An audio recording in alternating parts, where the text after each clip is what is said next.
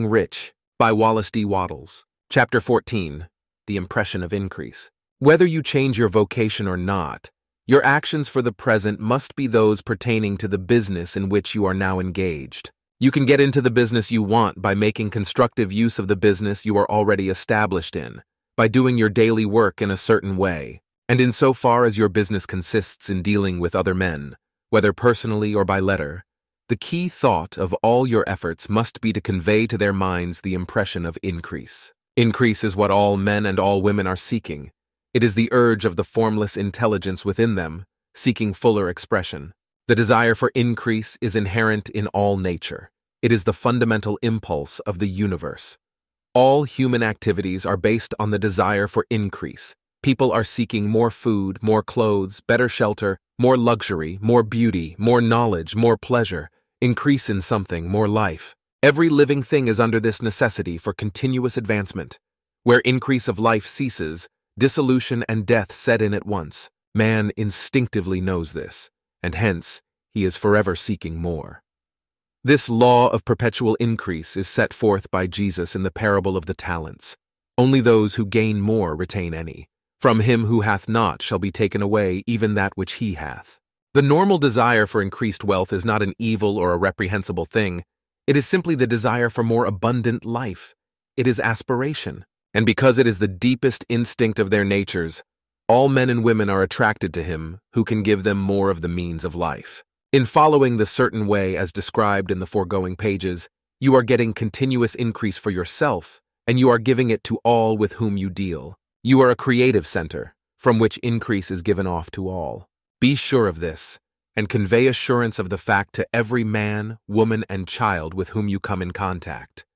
No matter how small the transaction, even if it be only the selling of a stick of candy to a little child, put into it the thought of increase, and make sure that the customer is impressed with the thought. Convey the impression of advancement with everything you do, so that all people shall receive the impression that you are an advancing man, and that you advance all who deal with you.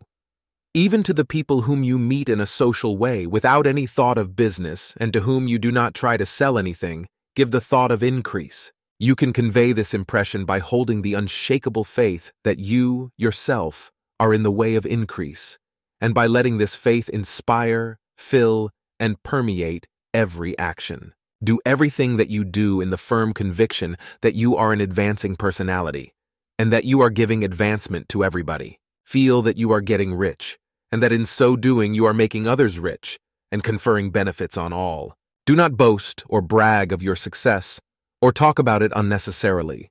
True faith is never boastful. Wherever you find a boastful person, you find one who is secretly doubtful and afraid. Simply feel the faith and let it work out in every transaction. Let every act and tone and look express the quiet assurance that you are getting rich, that you are already rich. Words will not be necessary to communicate this feeling to others. They will feel the sense of increase when in your presence and will be attracted to you again.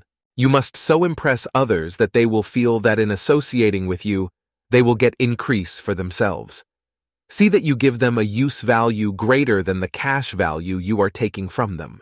Take an honest pride in doing this, and let everybody know it, and you will have no lack of customers. People will go where they are given increase, and the Supreme, which desires increase in all and which knows all, will move toward you men and women who have never heard of you. Your business will increase rapidly, and you will be surprised at the unexpected benefits which will come to you. You will be able from day to day to make larger combinations, secure greater advantages, and to go on into a more congenial vocation if you desire to do so. But doing thing all this, you must never lose sight of your vision of what you want or your faith and purpose to get what you want. Let me here give you another word of caution in regard to motives.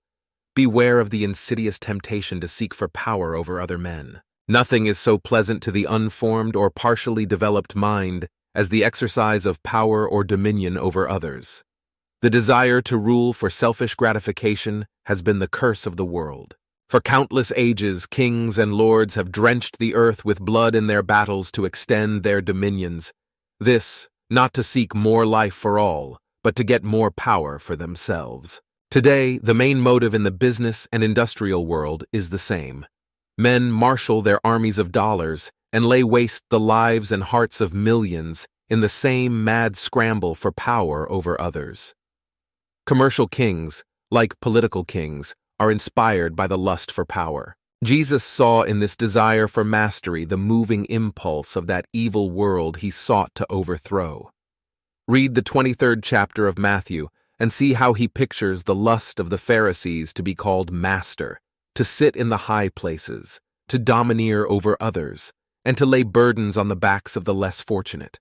And note how he compares this lust for dominion with the brotherly seeking for the common good to which he calls his disciples. Look out for the temptation to seek for authority, to become a master, to be considered as one who is above the common herd, to impress others by lavish display, and so on. The mind that seeks for mastery over others is the competitive mind, and the competitive mind is not the creative one.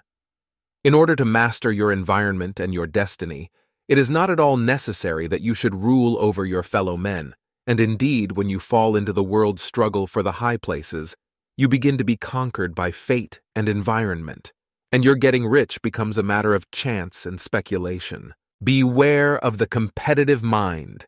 No better statement of the principle of creative action can be formulated than the favorite declaration of the late Golden Rule Jones of Toledo What I want for myself, I want for everybody.